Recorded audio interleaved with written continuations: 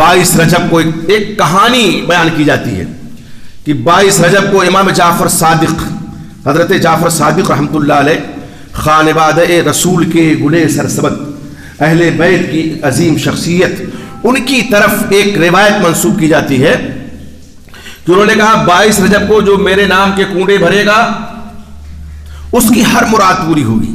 اور نہ پوری ہو تو کل قیامت کے دن میرا دامن پکڑ لے گریبان پکڑ لے میرا۔ ہر مراد اس کی پوری ہوگی۔ اس پر ایک کہانی داستان عجیب کے نام سے پتلی سی کتاب ہے۔ گھڑی گئی کہ ایک وزیر نے اس کا انکار کیا تو وزیر سے فقیر ہو گیا اور ایک لکڑہارے نے عمل کیا، باقاعدہ کنڈے بھرے، بائیس رجب کو تو وہ مالا مال ہو گیا۔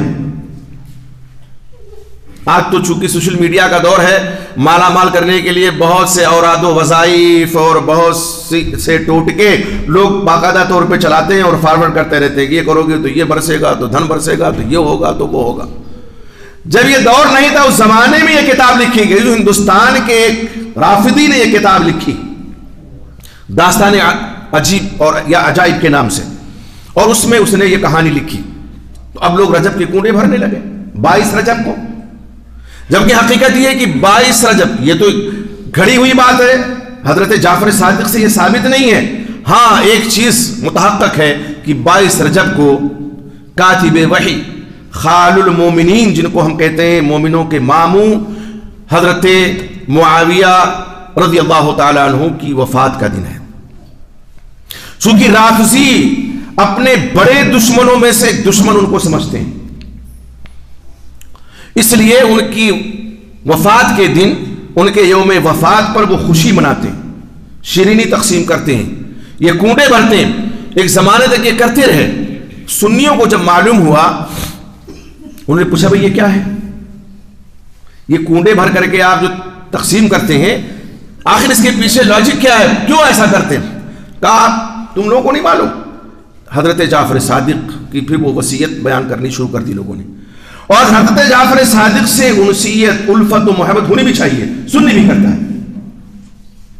اہل بیت سے ہے نا؟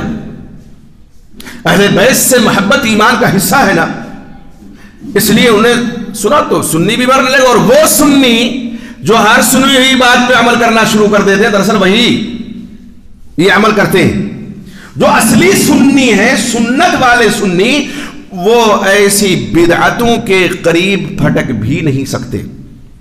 عمل کرنا تو بڑی دور کی بات ہے۔ وہ تو کہیں گے، لاؤ، دلیل لاؤ۔ برہان لاؤ۔ کتاب و سنت سے دلیل لاؤ۔ صحابہ کرام سے دلیل لاؤ۔ خلفۂ راشدین سے دلیل لاؤ۔ اور اگر کہیں اور دلیل نہیں ہے تو امامان دین سے لے کر کے آ جاؤ۔ نہیں ہے کہیں۔ تو یہ کرنا شروع کرتے ہیں لوگ۔ کرنا شروع کر دیا۔ اب آج سنی محلوں میں بھی کنڈے بھرے جاتے ہیں، بڑے شوق سے۔ اور یہ نہیں جانتے کہ نادانستہ طور پر یہ کاتب وحی خال المومنین محمد الرسول اللہ صلی اللہ علیہ وسلم کے برادر نسبتی حضرت معاویہ رضی اللہ تعالیٰ عنہ سے عداوت و دشمنی نبھا رہے ہیں یہ۔ اور آپ کو معلوم ہونا چاہیے